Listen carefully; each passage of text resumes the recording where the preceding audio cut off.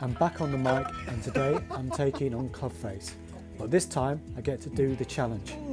We are playing all sports golf and for the Wow. first shot I got the tennis racket. I know Louis is expecting the worst, but that is Wimbledon worthy. Louis' tee shot and he's using my golf clubs. That's headed for the green and it's perfect. I need a good Golf spin for the next shot. golf? Louis was nice to me for once. He gave me golf. I've taken a lob wedge and played a great shot. I've just found out he's given me a shot on this hole. Game on. My par chance and I get ice hockey.